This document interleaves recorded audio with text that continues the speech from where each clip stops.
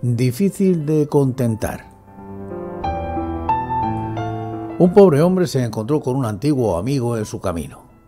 Este tenía un poder sobrenatural que le permitía hacer milagros.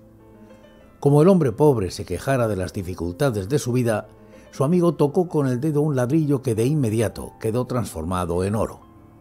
Se lo ofreció al pobre, pero éste encontró que eso era muy poco. El amigo tocó un león de piedra que se convirtió en un león de oro macizo y lo agregó al ladrillo. De oro. El pobre hombre encontró que el regalo era aún insuficiente. ¿Qué más deseas, pues? le preguntó el hacedor de prodigios. Quisiera tu dedo, contestó el otro.